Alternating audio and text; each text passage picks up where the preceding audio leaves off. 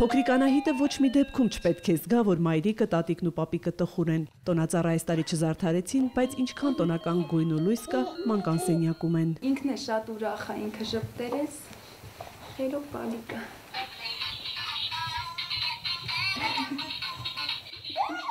Աշխույժ տիկնիկը օգնում է, որ Անահիտն ավելի շատ ժպտա։ Աչքերը շատ նման։ Որ նայում ակես ոնց որ հրաչ նայելուց լինի։ Որ հայրը հերոսաբար զոհվեց Թալիշում հակառակորդին յետ շպրտելիս, Անահիտը կիմանա, երբ քիչ էլ մեծանա։ Հիմա մութ հերոսների աշխարհում է։ Մաշային է սիրում շատ։ աշխատասեր որդի ունես իմ հայրենի չարեն շիրաս բայրուր սևա հայրենասեր գրող ունես Սուրբ ծնունդն է մոտենում, բայց հրաչնայց ճրակալույցի լույս մոմը տուն չի բերի։ Արդեն Անահիտն է լուսավորում տունը։ Սակու գադամ է հանե արդեն ամսի 6-ին արգադիկ բրերին։ Աղջիկ երեխա շատ կսիրեր, բայց գախնի կպայր անունը տնելու հարցը։ Հերոսի ընտանիքը Անահիտի հետ մեծ հույսեր է կապում, ուզում որ պարուհի դառնա։ Երկխող ճոճանակի մոտ պապիկն է հերթապահում։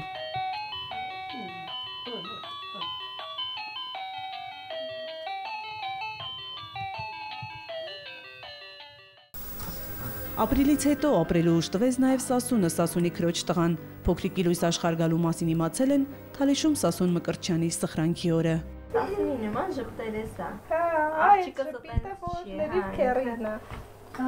Միշտ բերանը բաց է։ Կյանքի նկատմամբ նորից առաջացավ ապրելու ցանկություն։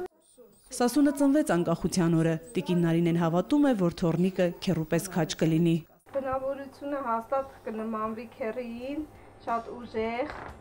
անվախ քաչ տղա է լինելու, չէ՞։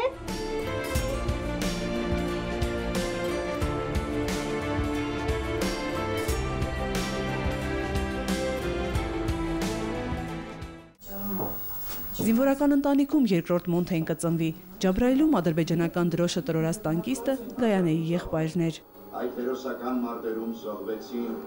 ավակ լեյտենանտ Բենյամին Եղոյանը, 7 տարի երեխայի է սпасել, բարի լուրը իմացել ապրիլից հետո, մայիսին։ Ինքը դեռ չի ծնվել, բայց ինքը ուժ է տալիս բոլորիս։ Ինքը ստիպեց, որ ես ճպտամ, ինքը ստիպեց, որ ծնողները ճպտան ու ուղակի ապրել։ Հայրենիքը սիրելու համար Բենյամինին դեռ փոքրուց Մոնթե կոչեցին ազգային հերոսի պատվին։ Մանկիկը նրա անունը կկրի։ Ծննդյանը սպասում են հունվարի 28-ին։ Այս Մոնթեներ շատ են Մենք ուրիշ տարբերակ չունենք, մենք պիտի մոնթեներով ապրենք։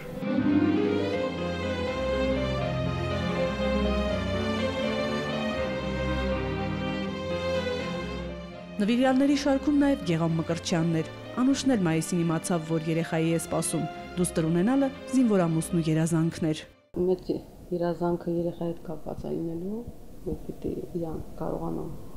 լավ պահին, բացնեմ իր նպատակները։ Էլմիրան կոգնի Անուշին առաջ նայել։ Նոր բնակարանի փոքրիկ սենյակը ամանորից առաջ զարդարել է։